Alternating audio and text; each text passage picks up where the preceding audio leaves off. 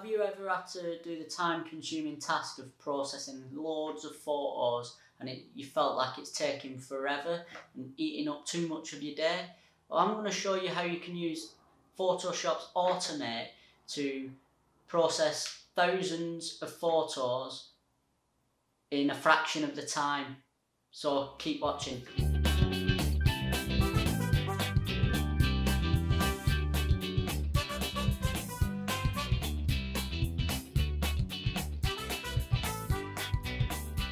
Guys, Chris James here, welcome back to another video. Recently I've been processing tons of photos for print work and I've been doing it in opening each individual one, messing around with the settings, changing and adjusting the images and then saving them. And that's been taking me forever. I mean, I don't even know where my day's gone when I'm, I've been doing it because the hours just seem to fly by.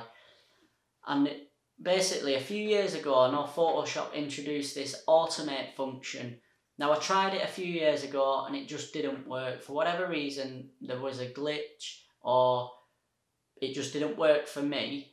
So I put it to bed and hence why I've been doing each individual photos separately, saving them and like I said it's taking too much of my time up. So I thought I'd revisit it again. Now with Photoshop CC the actual tool works, or I found it works brilliantly for speeding up my workflow. So a lot of the time I'm having to process photos from RGB to CMYK. I'm also having to change the resolution from 72 pixels to 300 pixels. And basically they're the standard settings that I need for when I'm doing my work and doing them is just a laborious, boring task if you're having to open each individual one and just do the same repetitive task. So I'm going to show you today how you can use the automate function to basically batch edit tons of your photos all in one go so that it can basically release your time up to concentrate on more interesting things like actually editing the photos and not the boring task of just changing the pixels, the resolution, or the colour mode to RGB to CMYK. So I'm going to switch to the Mac now and we'll get started and I'll show you how super easy it can be. So the first thing you want to do is open up Photoshop CC and the next thing we need to do is open up one of our images that we're looking at editing I'll just pick the top one. So now I've got this image here, basically we need to record the steps and the process for what we want to do ready for when we want to batch edit all our photos and to do that we need to come over to the right hand side and you'll see this little play icon you just need to click that and this will bring up tons of default actions that are built in Photoshop. So, like you say, you can add loads of images effects, so like light rain, sepia toning, uh, and you can probably download quite a lot of, of these as well on the internet.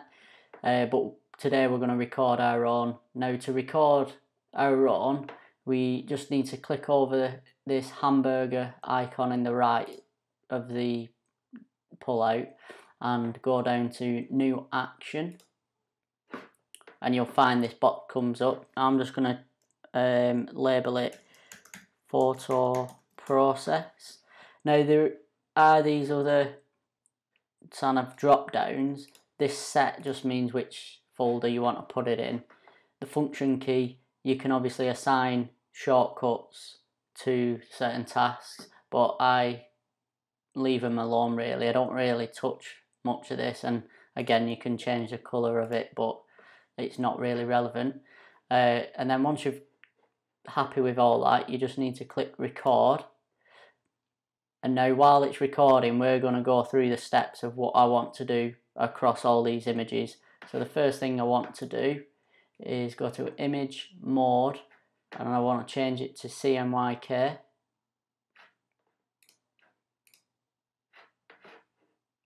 the next step is to go to image again, but down to image size. And I'm going to change it to 20 and 300 pixels. So now it's done that. And as you can see, each time we do a different step, it's adding it to this recorded function. Um, when I've done this in the past, I have forgotten to do this next step, which is basically to save it. So you just want to save the image, and that'll just make that'll just basically save it. So when you come to run it all, it'll do that for all your images. I found in the past that sometimes I've gone recorded it all, gone to my folder, set it all up, but it's run through the process but not saved anything. So then I was like, what's happened? How do I do it? And obviously the, fix was I just needed to save it. So now we've done all that, all we need to do now is click stop and that'll just basically end the recording means that anything else we do now won't be inputted into this. And now we can close this image down and all we need to do now to run it across all the images that we've got we need to go down to file automate batch and you'll come up it'll come up with this sort of batch um, slider if you will. I'm not too sure what you call these kind of pop-ups. Uh, yeah batch pop-up. Uh, and you've got a few settings here. So obviously this is where it's where you're getting your action from uh, ours was saved to the default action and obviously the actions photo process we just need to choose the folder that we want. So mine's monkey forest. Obviously I leave all these alone. I don't really touch anything. It's cool that it's got this stop for errors, which means if for whatever reason it can't carry out the task, it'll stop the process and let you know. Or you can obviously just log the errors.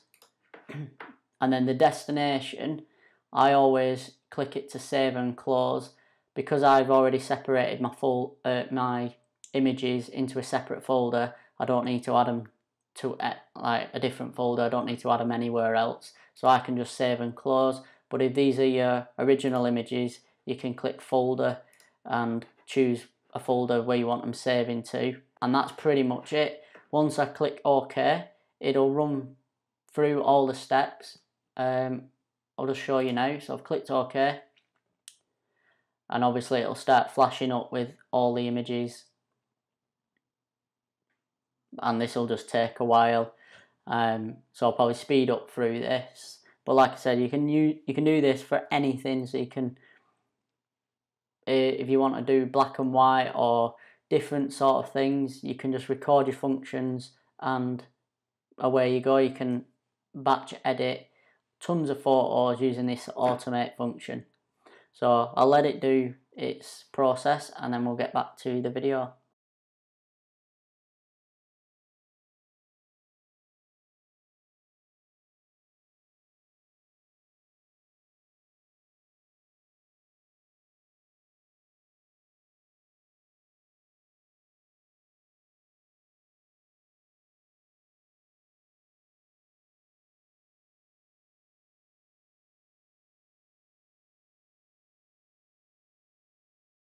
So there you go, it's done it all now, it's finished the process. So now what we should find is if I go to File, Open,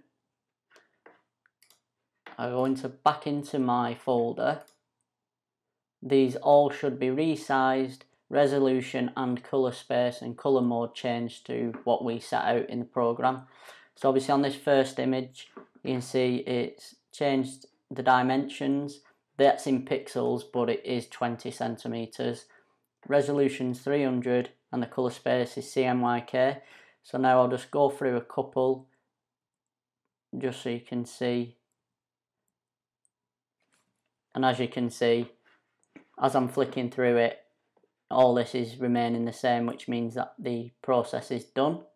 Um, and there you go, that's how easy it is to automate your fun- automate um, batch editing so you can basically run your own actions and change tons of photos in a fraction of the time. So there you go. I hope you found value from this tutorial. I know I've gone into it and just changed the colour mode, the sizes and resolution, but if you know you're going to have to do a certain task on all your photos, then this batch editing using the automate function is going to speed up all your workflow. You'll be able to get through it twice as fast and concentrate on basically the more interesting things about photo editing. So I hope you've liked the video. If you have, let me know below. If you didn't like it, still let me know below or give me a thumbs down because I'm happy to take on any of your feedback. Basically because I want to improve on these videos and I basically want to give better value to anyone who's wanting to learn graphic design or is a graphic designer or at college. Uh, I want these videos to be basically purposeful to you. So I'm going to leave it there. Tune in for the next one and I'll see you.